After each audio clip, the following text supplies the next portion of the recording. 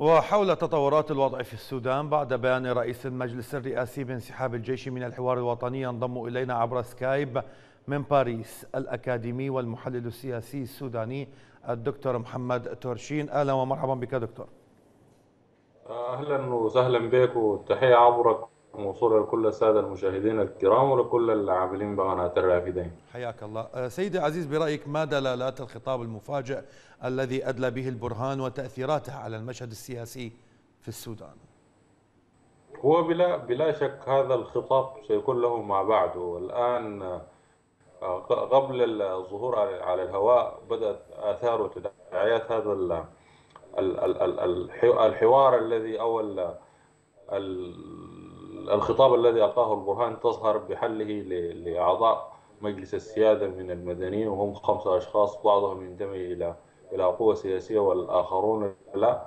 آه، باعتبار أن الآن المؤسسة العسكرية تمضي قدما في تحقيق تصورها بشكل عام. لكن في الاتجاه الآخر هنالك قوة سياسية رحبت آه، بهذا المبادرة أو بهذا الطرح الذي طرحته المؤسسة العسكرية من جانب وهنالك قوة أخرى كقوى الحرية والتغيير المجلس المركزي رفضت هذا الطرح. لكن أنا في تقديري آه، هذه الخطوة وإن الكثير دائما يشككون في نوايا المؤسسة العسكرية ورغبتها دائما في الاستمرار في السلطة. لكن هذا هذا الخطاب آه، وضع العرب أمام الحصان وجعل القوى السياسية في في في تحدي حقيقي. تحدي يتمثل في إنه لابد أن تدير حوار سوداني سوداني حتى تتوصل إلى نهايات آه، من شانها تسهم بشكل مباشر في استكمال مسار التحول الديمقراطي.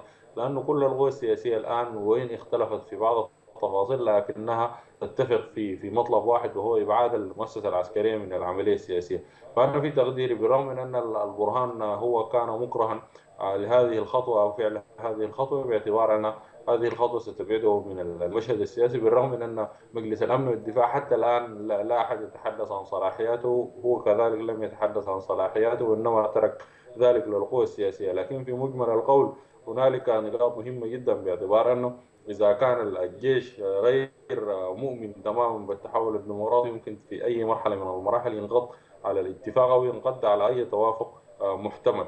بالرغم من أن كل المؤشرات لا تنبي بأن سيكون هنالك توافق بين القوى السياسية السودانية طيب, نحن طيب هل فعلا كما يقول البعض أن البرهان نقل الكرة بملعب المعارضة؟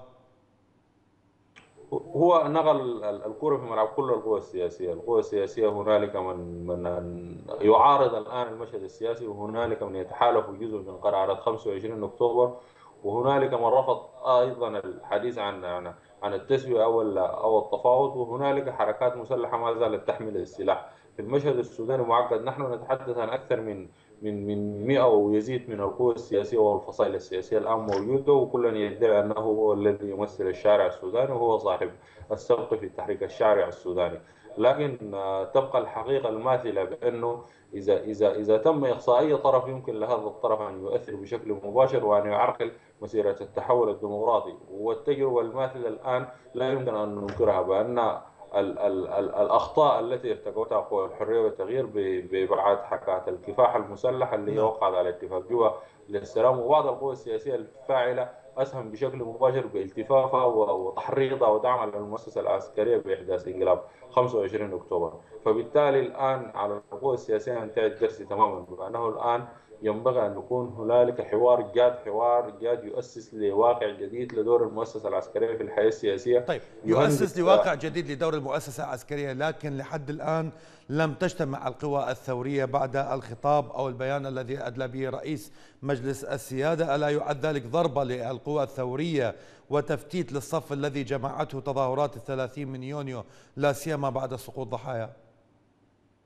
هو آه، الآن حسب المعلومات أن القوى السياسية بعض منها أو الغالب العام آه، اجتمع حتى وأصدر آه، بيانات يحدث أو أو يؤيد ويرفض هذه المواقف. لكن الأمر المستغرب أن القوى السياسية طوال الفترة الماضية ظلت هي ساكنة والمؤسسة العسكرية هي التي تقود الفعل والقوى السياسية هي التي ترد الفعل. فهنا تكمن أيضا المشكلة. الآن القوى السياسية منقسمة. آه، آه، الحركات المسلحة تحت يافطة قوى الحرية والتغيير. الميثاق الوطني رحبت بهذه الخطوة واعتبرتها خطوة إيجابية وينبغي تشرع القوى السياسية في حوار جاد لتحقيق أجندة الحوار أو القضايا المختلف فيها. بالإضافة إلى ذلك حزب الأمة بقيادة مبارك الفاضل الحزب الاتحاد الديمقراطي وغيرها من الأحزاب. كذلك هنالك مجموعات أخرى تحدثت على ضرورة أن تكون هناك مائدة مستديرة تجمع كل القوى السياسية كحملة السودان المستقبل التي دعت في بيان أنه ينبغي أن يكون هنالك مؤتمر للمائدة المستديرة يشمل كل القوى السياسية باستثناء المؤتمر الوطني حتى يتوصل الفرقاء السودانيين إلى تسوية قوى الحرية والتغيير المجلس المركزي رفضت الحديث ورفض واعتبرت هذه القرارات أو هذه المبادرة التي طرحها الجيش بمثابة آه، آه، محاولة آه، التملص أو محاولة فبركة الواقع ومحاولة نعم، امتصاص نعم. غضب الشارع والحراك الجماهيري. الحزب الشيوعي أيضا رفض الحديث عن ذلك واعتبر إنه محاولة للتسويف ومحاولة للزحف إلى الامام، فأنا في تقديري الآن هذا الانقسام هذا الانقسام إذا إذا إذا لم تستجيب القوى السياسية بشكل متسارع وتتحول من خانة ردة الفعل إلى صنع الفعل السياسي في تقديري نعم. ستكون طيب. لذلك باهظة دكتور محمد قوى الحرية والتغيير صرحت بعد سقوط ضحايا في الثلاثين من يونيو أنه لا يمكن إجراء انتخابات والآن ترفض بيان رئيس مجلس الرئاسة هل تضع العصا في العجلة أم ترى أن هنالك مناورة يراد بها قتل الثورة ومطالبها هو لا لا, لا مانع أن يستمر الشارع في الحراك وأن تستمر الاحتجاجات وان يستمر تستمر الاعتصامات في كل العاصمة والولايات الأخرى. وفي في الاتجاه الآخر ينبغي أن يكون هنالك حوار جاد. وهذا الحوار الجاد يكون الشارع هو هو الضامن الحقيقي لتنفيذ تلك المخرجات والضغط على المؤسسة العسكرية، لكن أن تكتفي القوى السياسية ودائما أن تظل هي آه، تستجيب لردات الفعل وأن يكون الجيش هو صانع الفعل في حد ذات هذه تمثل كارثة وتمثل إشكالية حقيقية، فبالتالي ينبغي على القوى السياسية أن تخطو خطوة نحو الأمام بصنع الفعل السياسي وتحريك البركة الادنه، فبالتالي أنا في تقديري الآن قوى الحرية والتغيير يبدو أنها غير غير نعم. متحدة أو غير متحدة في مواقفها، لاحظنا بالأمس أن حزب الأمة القومي بقيادة الراحل آه، الصادق المهدي رحب بهذه الخطوة. اليوم رفض هذه الإجراءات فبالتالي بيعكس لك إنه هنالك تباين في وجهات النظر بين القوى السياسية المدنية وهذا التباين آه، مفهوم لدينا باعتبار أن هذه القوى ليس لديها ليس لديها اصطفاف جماهيري حقيقي وإنما هي تحاول بتلك المواقف أن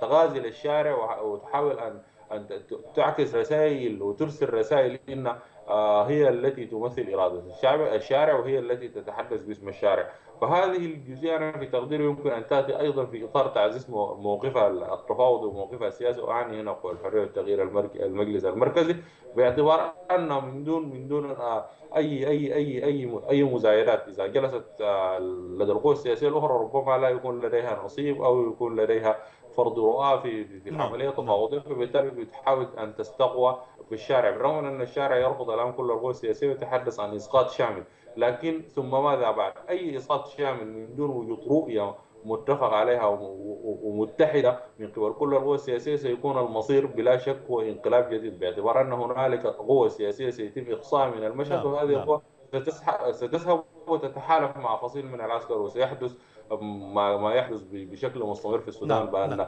أي عمليه عملية سياسية تكون ناقصة مآلاتها انقلاب عسكري في النهاية من باريس الأكاديمي والمحلل السياسي السوداني الدكتور محمد ترشين كنت معنا عبر سكاي في بانوراما الرافدين شكرا جزيلا لك